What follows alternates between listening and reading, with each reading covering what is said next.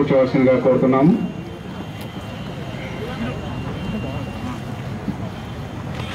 Joint collector గారు పెద్దలు గౌరవ రాజేశం గారికి ఇచ్చేసినటువంటి రీసెంట్గా అడిషనల్ ఛార్జ్ మేము ముందు నుంచి కూడా పాలక వర్గం ఏర్పడినప్పటి నుంచి కూడా ముందుగా ఎక్కువ దృష్టి సారించింది శానిటేషన్ పైనే. ఎందుకంటే సిటీలోనే ముందుగా కూడా మేము శానిటేషన్ మీద దృష్టి సాధించాము అనుకున్నట్టుగానే చాలా మట్టుకు కూడా మరి గౌరవ ముఖ్యమంత్రి వర్యులు మంచి కార్యక్రమాన్ని కూడా అందించారు. సిటీ మొత్తం ఒకసారి క్లీన్ చేసే విధంగా అలాగే చెత్తనంతా కూడా తొలగించే విధంగా కూడా పట్టణ ప్రగతి ఒక మంచి కార్యక్రమాన్ని అందించారు. మా నూతన పాలక వర్గం ఏర్పడ్డ వెంటనే కూడా ఆ కార్యక్రమంలో భాగంగా సిటీ అంతా కూడా మేము ఒకసారి తిరిగి ఏం అవసరాలు ఉన్నాయి మౌలిక సదుపాయాలు ఏమేమి కావాలి శానిటేషన్ మీద దృష్టి పెట్టడానికి కావాల్సినటువంటి మెయిన్గా బేసిక్గా ఏవేవి క్లీన్ చేయాలి? రోడ్స్ అయినా డ్రైన్స్ అయినా అలాగే ఖాళీ స్థలాల్లో చెత్తనన్నింటినీ కూడా మ్యాక్సిమం వీలైనంత వరకు కూడా మేము క్లీన్ చేయించడం జరిగింది. అలాగే కరోనా వంటి సమయాలలో కూడా ఇంటెన్సివ్ శానిటేషన్ డ్రైవ్ పేరుతో కూడా గౌరవ పురపాలక మంత్రి వర్యులు కేటీఆర్ అన్న గారు కూడా ఒక మంచి కార్యక్రమం అందించారు. అలాగే ఎందుకంటే సీజనల్ వచ్చేటటువంటి వర్షాకాలంలో సీజనల్ వ్యాధులు వస్తాయి. వాటిని అరికట్టే దిశగా ప్రజలందరినీ కూడా భాగస్వామ్యం చేసే దిశగా కూడా గౌరవ మున్సిపల్ శాఖ మంత్రివర్యులు అందించారు. రెండేళ్ళ ముందుగానే కూడా దాని గురించి ఆలోచించి అలాగే ఈరోజు కూడా పట్టణ ప్రగతి అనేటువంటి ఒక గొప్ప కార్యక్రమాన్ని అందించడంతో పాటుగా పట్టణ ప్రగతి ఫండ్ కూడా ఈ కరోనా వంటి క్లిష్ట సమస్య పరిస్థితులలో కూడా ఏ నెల కా నెల కూడా మున్సిపల్కి అందిస్తున్నారు. మరి ఈరోజే మేము కొత్తగా వాటితో ఒక జేసీబీ మరియు ఆరు ట్రాక్టర్ని కూడా తీసుకోవడం జరిగింది. అలాగే ఇంకొంత శానిటేషన్ మెరుగుపరిచే దిశగా కూడా ఈ వాహనాలు మాకు ఎంతగానో ఉపయోగపడతాయి. ఎందుకంటే పెద్ద మున్సిపాలిటీ లక్ష పైచిలకు జనాభా ఉన్న మున్సిపాలిటీ జగిత్యాల పట్టణం. చాలా వరకు కూడా స్టాఫ్ అవసరం పడుతున్నారు. మరి వెహికల్స్ కూడా కొంత పెంపొందించే దిశగా కూడా మనం పనిచేయాలని గౌరవ శాసనసభ్యులు డాక్టర్ సంజయ్ అన్న గారు కూడా మాకు సూచనలు ఇవ్వడం జరిగింది. అలాగే గౌరవ కలెక్టర్ గారు మరియు అడిషనల్ కలెక్టర్ గారు జాయింట్ కలెక్టర్ గారు కూడా సహకరిస్తున్నారు. అన్ని విషయాలలో కూడా దిశానిర్దేశం చేస్తున్నారు. మరి ఈరోజు కూడా మొన్న రీసెంట్గా కూడా స్వచ్ఛ ఆటోలను కూడా ఎందుకంటే ఇందా ఇందాక చెప్పినట్టు ఇంత లక్ష రూపాయలకి మరి శానిటేషన్ వెహికల్స్ని కూడా పెంచే అవసరం ఉంది. మరి కలెక్టర్ గారు కూడా అప్రూవల్ ఇవ్వడం జరిగింది. తొందరలోనే ఇరవై ఒక్క స్వచ్ఛ ఆటోలను కూడా మున్సిపల్ తీసుకోవడం జరుగుతుంది. అలాగే ప్రజలందరూ కూడా శానిటేషన్ విషయంలో సహకరించాలి. ఎందుకంటే ప్రజల భాగస్వామ్యం లేనిదే కూడా ఏ ఒక్క కార్యక్రమమైనా కూడా విజయవంతం కాదు. ఎందుకంటే ప్రజల భాగస్వామ్యం అనేది ప్రతి ఒక్క కార్యక్రమానికి అవసరం. ఎంతవరకు మేము రోడ్లు క్లీన్ చేసినా డ్రైన్లు క్లీన్ చేసినా కూడా వాటిని దగ్గరుండి ఇంకా కాపాడుకుని అలాగే మెయింటైన్ చేయాల్సింది మాత్రం ప్రజలే. చెత్తబుట్టలు కూడా అందించాము. మరి మున్సిపల్ వెహికల్స్ కూడా చాలా వరకు కొత్తవి తీసుకున్నాము. రాగానే కూడా పన్నెండు స్వచ్ఛ ఆటోలు కూడా వచ్చాయి. మరి చెత్తనన్నింటినీ కూడా చెత్త బుట్టలలో వేసి వాటికి ఇవ్వండి వెహికల్స్కి ఇవ్వండి అక్కడిక్కడ కూడా పడేయకండి. ఖాళీ స్థలాల్లో ప్రజలందరూ ఈ విషయంలో సహకరించాలి. అలాగే తడి చెత్త పొడి చెత్త కూడా వేరు చేసి ఇవ్వండి. మరి ఇప్పుడు కూడా కొత్తగా మరి ట్రాక్టర్లు కూడా రావడం జరిగింది. అలాగే కమర్షియల్ మెయిన్గా కమర్షియల్ విషయానికి వస్తే మరి వ్యాపారస్తులందరూ కూడా సహకరించాలి వారికి నేను ఈ సందర్భంగా విజ్ఞప్తి చేస్తున్నాను. పెద్దగా ఒక బిన్ పెట్టుకోండి. అలాగే బట్టల వ్యాపారస్తులైనా ఏ వ్యాపారస్తులైనా కూడా కానివ్వండి కమర్షియల్ ట్రాక్టర్ వస్తుంది మీరు ఆ చెత్తనన్నింటికి ఆ ట్రాక్టర్కి ఇవ్వండి. దయచేసి వేరేలా భావించకండి అన్నదే భావించకండి. ఈ విషయంలో మాత్రం వ్యాపారస్తులందరూ కూడా సహకరించండి. మరి ఇంకా ఇక ముందు కూడా మేము మరింతగా దృష్టి సా సాధిస్తాము. మరి ప్రతి ప్రతి ఒక్క విషయం పైన కూడా. ఎందుకంటే ముందు నుంచి కూడా సంజయ్ అన్న గారు వచ్చినప్పటి నుంచి కూడా ప్రతి ఒక్క మున్సిపల్ కార్యకలాపైన కూడా ప్రత్యేకంగా పర్యవేక్షించి సమీక్షించి కూడా దిశానిర్దేశం చేస్తున్నారు ప్రతి ఒక్క అంశం పైన కూడా. ఇప్పుడు కూడా హరితహారం కార్యక్రమం జరుగుతుంది. మరి ఆ కార్యక్రమంలో కూడా మాకు ఎంతగానో సహకరిస్తున్నారు. మరి సహకరిస్తున్నటువంటి పెద్దలకి మరీ ముఖ్యంగా కూడా ఈ రోజు కూడా వాళ్ళ తమ విలువైన సమయాన్ని మాకు కేటాయించి ఇక్కడికి ఇచ్చేసినటువంటి గౌరవ సభ- శాసనసభ్యులు డాక్టర్ సంజయ్ అన్న గారికి మరియు గౌరవ కలెక్టర్ గారు రవి సార్కి మరియు ఇచ్చేసినటువంటి జాయింట్ కలెక్టర్ గారికి అడిషనల్ కలెక్టర్ గారికి ఇచ్చేసినటువంటి గౌరవ కౌన్సిల్ సభ్యులందరికీ పెద్దలందరికీ కూడా మీడియా మిత్రులకి పేరు పేరున కూడా ధన్యవాదాలు తెలియజేస్తున్నాను. జై తెలంగాణ. శ్రావణి గారికి వైస్ చైర్పర్సన్ శ్రీనివాస్ గారికి ఇతర గౌరవ కౌన్సిలర్స్కు. జగిత్యాల మున్సిపాలిటీలో పట్టణ ప్రగతిని మొదలుకొని ఈ రోజు వరకు అటు గౌరవ ప్రజాప్రతినిధులు అధికారులు సిబ్బంది అందరూ కూడా కలిసికట్టుగా ఈ యొక్క టౌన్ శానిటేషన్ పైన డెవలప్మెంట్ పైన చాలా ఫోకస్గా పనిచేస్తున్నారు. మీ మీ అందరూ కూడా చూస్తూ ఉన్నారు. అందులో భాగంగా ఇనిషియల్గా పాత వెహికల్స్ అవన్నీ ఉన్నాయని వాటి ప్లేసెస్లో స్వచ్ఛ ఆటోస్ని కొనుక్కోవడం జరిగింది. అప్పుడు పట్టణ ప్రగతిలో భాగంగా. ఫర్దర్గా ఎక్కడన్నా కానీ మిషనరీ అవసరం ఉన్న చోట చాలా వరకు హైర్ మీద మిషనరీని ఎంగేజ్ చేసుకొని ఈ శానిటేషన్ అవి ఇంప్రూవ్ చేసుకునేవాడు. తద్వారా మున్సిపాలిటీ కొంచెం ఎక్స్పెండిచర్ ఎక్కువ అవ్వడం జరిగేది అది గుర్తించుకొని మున్సిపాలిటీ కావాల్సిన మిషనరీని తీసుకోవడంలో భాగంగా ఈరోజు ఫస్ట్ విడతగా ఒక జేసీబీ ఆరు ట్రాక్టర్లు రావడం జరిగింది. వీటి ద్వారా జగిత్యాల ఏదైతే డిస్ట్రిక్ట్ హెడ్ క్వార్టర్ ఉందో more than one lakh population plus floating population ఉంటుందో అక్కడ శానిటేషన్ ప్రతిదినం దాన్ని నీట్గా పెట్టుకోవాల్సిన అవసరం అందరి మీద ఉంది. సో వీటిని ప్రాపర్గా యూజ్ చేసుకుంటారని అనే అలానే ఇంతకుముందు వచ్చిన స్వచ్ఛ ఆటోస్ని కూడా ప్రాపర్గా యూటిలైజ్ చేసుకుంటారని రెసిడెన్షియల్ ఏరియాస్లో కొంత మార్పు వచ్చినప్పటికీ కొంత కమర్షియల్ ఏరియాస్లో ఇంకా కొంత మార్పు రావాల్సి ఉంది దానికి అటు concern shop owners as well as ఇటు మున్సిపల్ స్టాఫ్ అందరూ కూడా కలిసికట్టుగా దీన్ని ఒక కోఆర్డినేటెడ్గా చేస్తూ ముందుకు తీసుకెళ్ళాలి. ఇప్పుడున్న పరిస్థితుల్లో పారిశుద్ధ్యం అన్నది చాలా ఇంపార్టెంట్ మనకు. ఇది ఒక కంటిన్యూస్ ప్రోగ్రామ్ కిందనే తీసుకుంటాం ఏదో పట్టణ ప్రగతి ఉన్నప్పుడు లేకపోతే ఇంకేదో కార్యక్రమం ఉన్నప్పుడు అని కాకుండా it should be continuous programme దానికి ఎవరో కౌన్సిలర్స్ అందరూ కూడా మేము ఈ వార్డ్స్లో శానిటేషన్ పైన ఎప్పుడు కూడా ఫ్రీక్వెంట్గా మీరు విజిట్ చేయాలని రిక్వెస్ట్ చేస్తాం. అలానే హరితహారంలో భాగంగా కూడా చాలాసార్లు ఫస్ట్ నుంచి ఫిఫ్త్ ఫేజ్ వరకు హరితహారంలో జరిగినప్పుడు ముఖ్యంగా మున్సిపాలిటీస్లో హరితహారం అంటే జనరల్గా ఇళ్ళలోకి మొక్కలు డిస్ట్రిబ్యూట్ చేసేయడం హోమ్ స్టేట్ ప్లాంటేషన్ని మాత్రమే మనం చూస్తూ ఉండేవాళ్ళు. ఈసారి దానికి భిన్నంగా పౌర ప్రజాప్రతినిధుల సహకారంతో ఇక అధికారులు సిబ్బంది అంతా కూడా ఒక యాక్షన్ ప్లాన్ లాగా ప్రిపేర్ చేసి మనకి ఇచ్చిన టార్గెట్ని ఆల్మోస్ట్ సిక్స్ ల్యాక్స్ పాపులేషన్ మన సిక్స్ ల్యాక్స్ టార్గెట్ని ఎక్కడెక్కడ ప్లాంటేషన్ చేయాలి? ఎట్లాంటి ప్లాంట్స్ని ప్లాంటేషన్ చేయాలి అన్నది ఇటు కౌన్సిల్లో తర్వాత దాన్ని అడ్మినిస్ట్రేటివ్ శాంక్షన్ ఇచ్చి కొన్ని టాల్ ప్లాంట్స్ని తీసుకురావడం జరిగింది. వాటిని అన్నింటినీ కూడా మెయిన్ రోడ్స్ పైన ఇంటర్నల్ రోడ్స్ పైన మియావాకి ప్లాంటేషన్ అని ట్రీ పార్క్స్ అని రకరకాలుగా మనం డెవలప్ చేస్తూ ఉన్నాం. వీటిని అన్నింటినీ కాపాడాల్సిన బాధ్యత మనందరి మీద ఉంది. రెండోది ఇంకోటి కూడా ఏంటి అని అంటే రీసెంట్గా కలెక్టర్స్ కాన్ఫరెన్స్లో ఎలా అయితే గ్రామాల్లో ప్రతి గ్రామానికి ప్రతి హ్యాబిటేషన్కి పల్లె ప్రకృతి వనాలు అని ఎట్లయితే క్రియేట్ చేస్తున్నాం ప్రతి మున్సిపాలిటీలో కూడా ప్రతి వార్డ్స్లో కొంత ఏరియాలో ఎకరాల కొద్ది కాకపోయినా కనీసం నాలుగైదు గుంటల ల్యాండ్ ఐడెంటిఫై చేసి అటు గౌరవ కౌన్సిలర్స్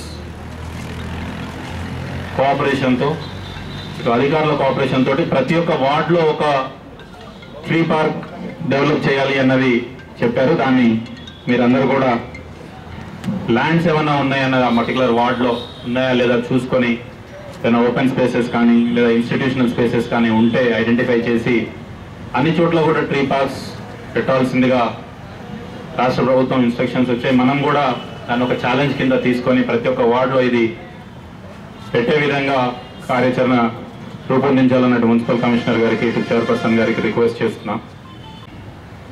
మెషినరీ కొనడంలో కానీ లేదా శానిటేషన్ ఇంప్రూవ్ చేయడంలో కానీ మాకు ఎప్పుడూ రెగ్యులర్గా పర్సువేషన్ చేస్తూ ఫాలో అప్ చేస్తున్న గౌరవ శాసనసభ్యుల గారికి ప్రత్యేకంగా కృతజ్ఞతలు తెలుపుతూ నన్ను ఈ కార్యక్రమానికి ఇన్వైట్ చేసిన నిర్వాహకులకు ధన్యవాదాలు తెలుపుతూ ముగిస్తాను. థ్యాంక్ యూ సార్ కూడా అదనపు బాధ్యతలు వహించి గత మూడు వారాల నుంచి అహర్నిశలు డాక్టర్ భోగ శ్రావణి గారికి వైస్ చైర్మన్ గారికి ఆక్రోస్ అధికారులకు.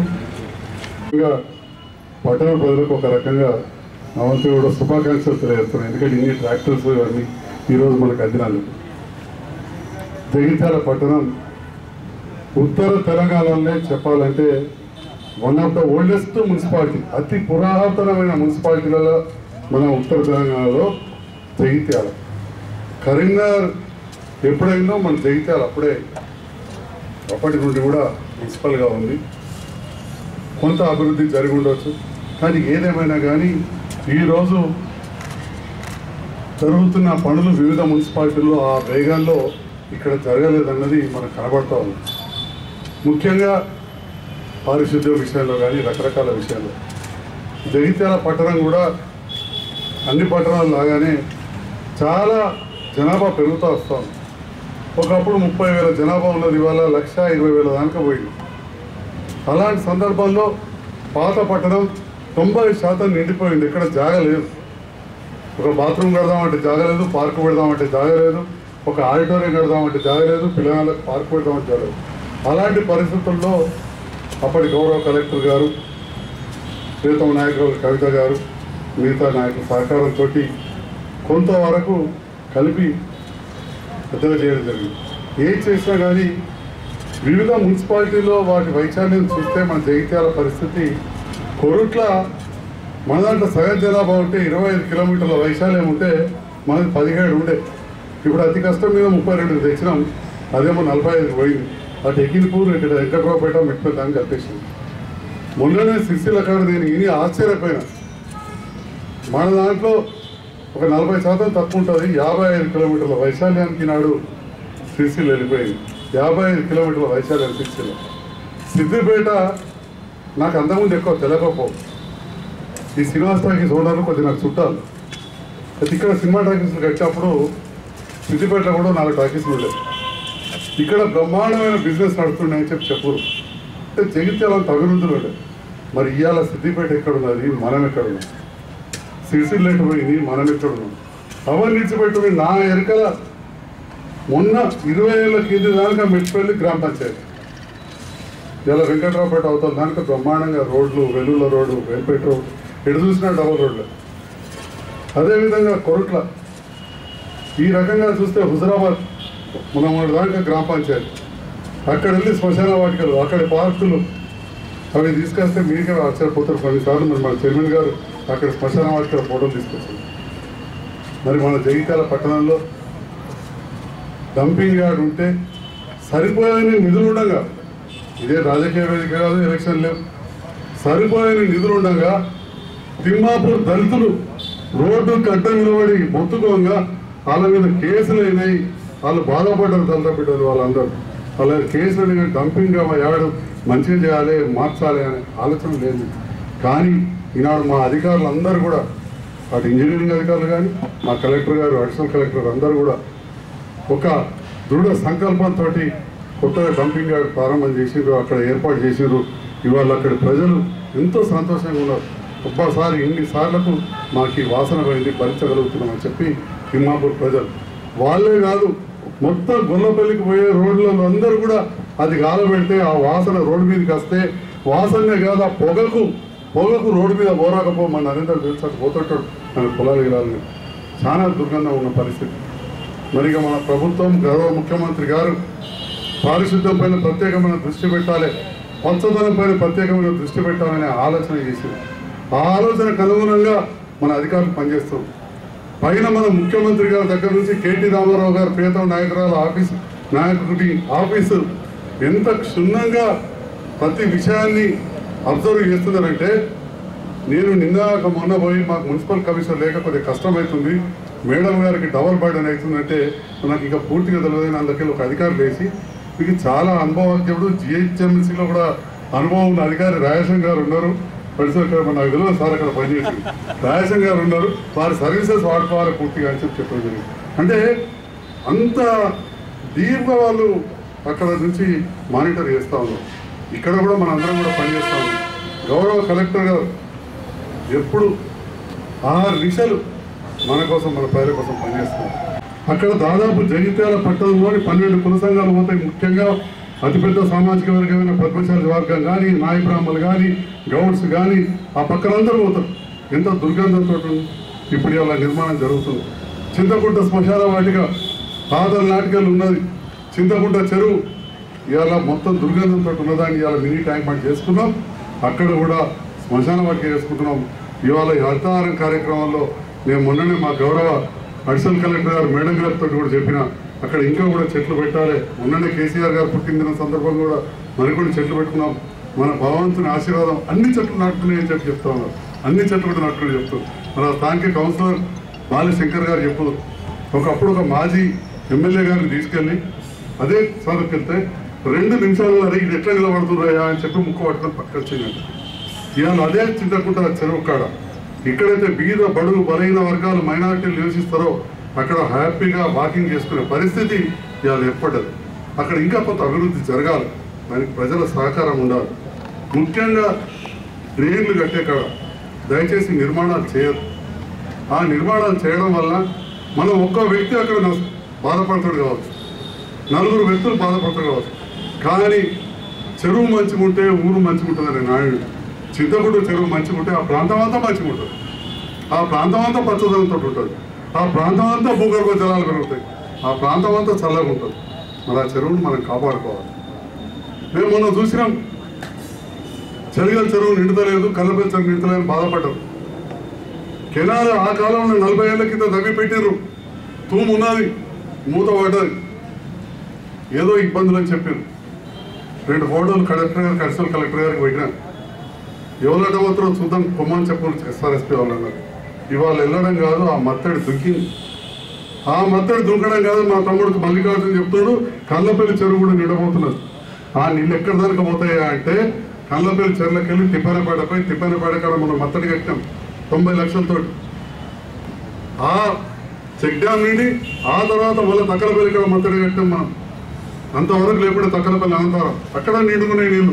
ఆడికెళ్ళి సదా జలబాగు పేరే సదా జలబాగు చుక్క నీళ్ళు లేకుండా అయితే రేపటి నాడు అది కూడా నిండుతుంది. అంటే ఒక చిన్న అడ్డంకి ఇక్కడ మనం ఏదైతే తొలగించినామో అది ఇరవై కిలోమీటర్ల దూరం పోతున్నాడు ఆ ఒక్క చిన్న అడ్డంకి ఇవాళ అధికారుల సహకారంతో తొలగించడం ప్రజలు కూడా సహకరించారు. ఆ విధంగా ప్రజ- ప్రతి వాళ్ళు సహకరించాలి.